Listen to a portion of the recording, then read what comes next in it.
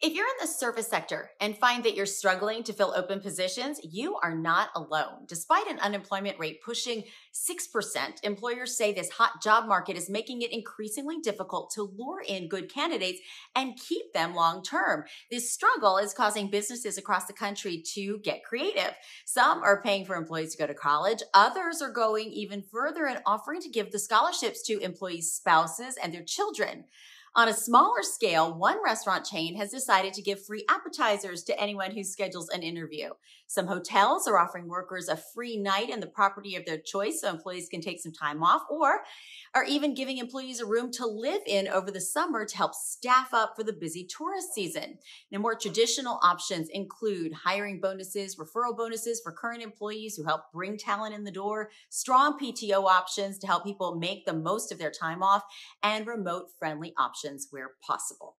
Speaking of incentives, how about Joints for Jabs, legal cannabis retailers in Washington state that offer in store COVID 19 vaccination clinics can now legally give adults a joint as a reward for getting their shot. The program is effective now through July 12th. Now, Washington is not alone. Stores in Arizona have been giving out pre rolled joints and edible cannabis gummies to anyone over the age of 21 who gets vaccinated. They call their plan Snacks for Vax. Maybe some Amazon employees will take advantage of the program now that the company is coming out publicly in support of legalizing marijuana on the federal level.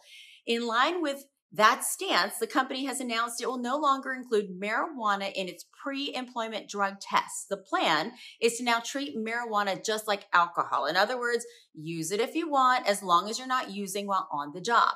It's important to note that these relaxed rules do not apply to those in roles that are regulated by the Department of Transportation. That means all those thousands of Amazon drivers will continue to be tested for impairment while on the job and after any incident.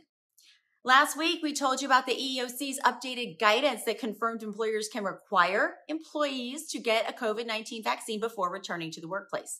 The administration of Houston Methodist is now in a very public battle with some of its staff over that issue. The medical center demanded its 26,000 employees get the vaccine. They had until June 7th to get the shot or face termination. Since the vaccine is still not officially approved. It's only being used under an emergency use authorization. Several unvaccinated workers claim they're being forced to be human guinea pigs.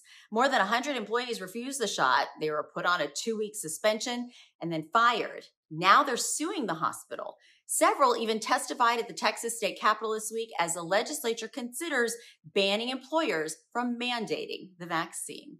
And we'll keep watching all these changes for you. Check out ebiinc.com for more screening information, and we'll see you back here next week. Take care, everybody.